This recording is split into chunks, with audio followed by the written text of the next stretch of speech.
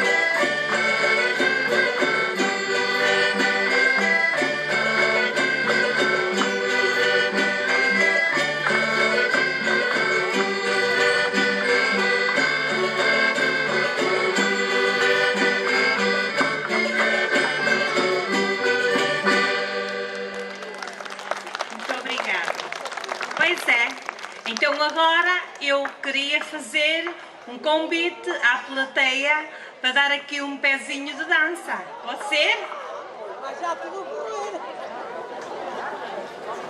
É o nosso vira geral. Estamos à espera. Comecem, comecem que assaltam já, estou feliz.